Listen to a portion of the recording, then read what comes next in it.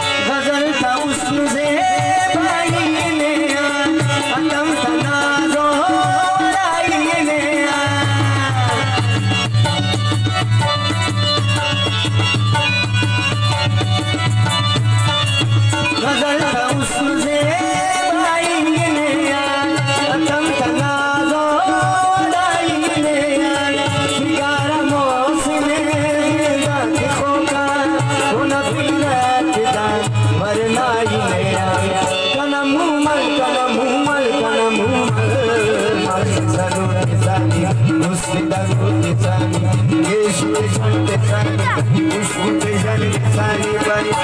mu man, kana mu